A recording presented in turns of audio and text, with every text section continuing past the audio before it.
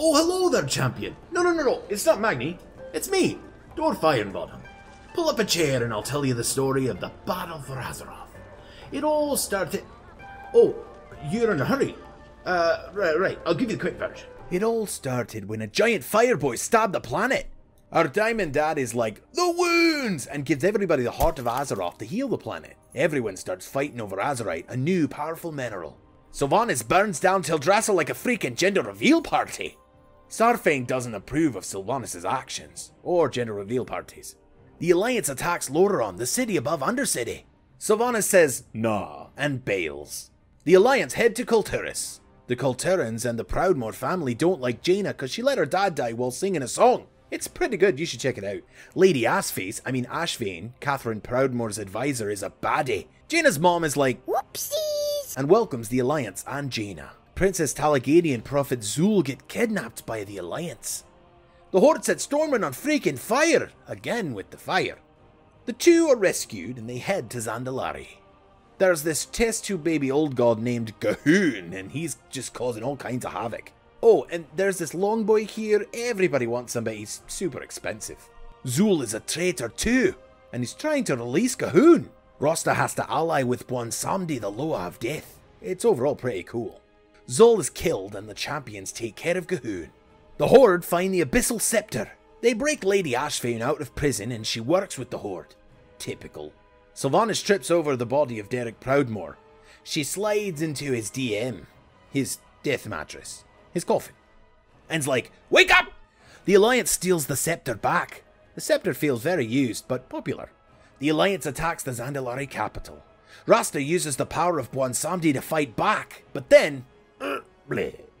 The Zandalari look at the Horde and are like, So, more of the Horde think Sylvanas is a real. Bloodhoof helped the Proudmoore zombie escape and Sylvanas locks him up. Tyrande becomes Sailor Moon and starts wrecking face. The Horde bring the Blade of the Black Empire to Sylvanas. This creates a connection between Sylvanas, Azshara, Queen of the Naga, and the old god N'Zoth. Azshara was a night elf that tried to hook up with the Legion. It didn't work and her whole city was flooded. N'Zoth said, I'll let you live, but you've got to serve me. And also be a gross snake thing. Sylvanas cooked up a plan to pull the whole Horde and the Alliance down into Nazjatar.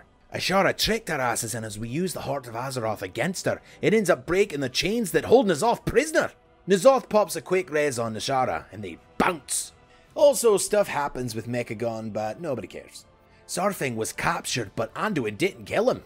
He's a good boy. Anduin says, Go get your boy Thrall and let's smack a banshee. Saurfang gets Thrall to come back.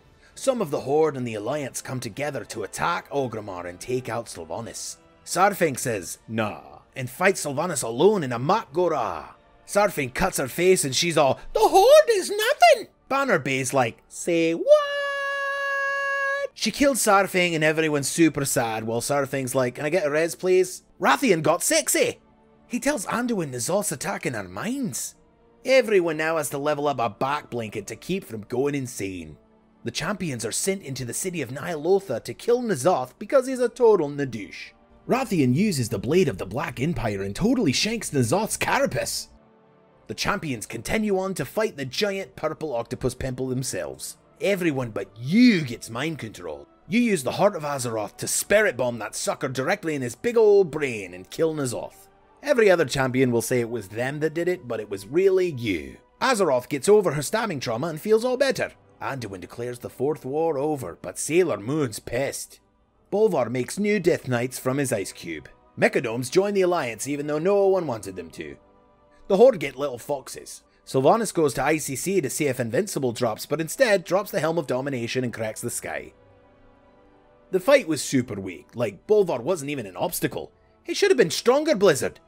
Sylvanas is in cahoots with the jailer. Everyone disliked that. Now, we all look to the skies as we venture into the afterlife and choose to join the Edgelords, Team Edward, the Tree Huggers, or the Blue Angels. And that's where the story of the Shadowlands begins. But that's for another time, champion. In the meantime, remember, keep your feet on the ground. Oh, and if you want to watch me play in World of Warcraft with my wife Jen, check out our stream at twitch.tv slash generic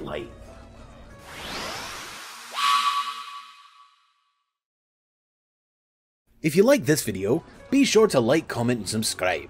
and click one of the links on the screen to check out some of our other videos.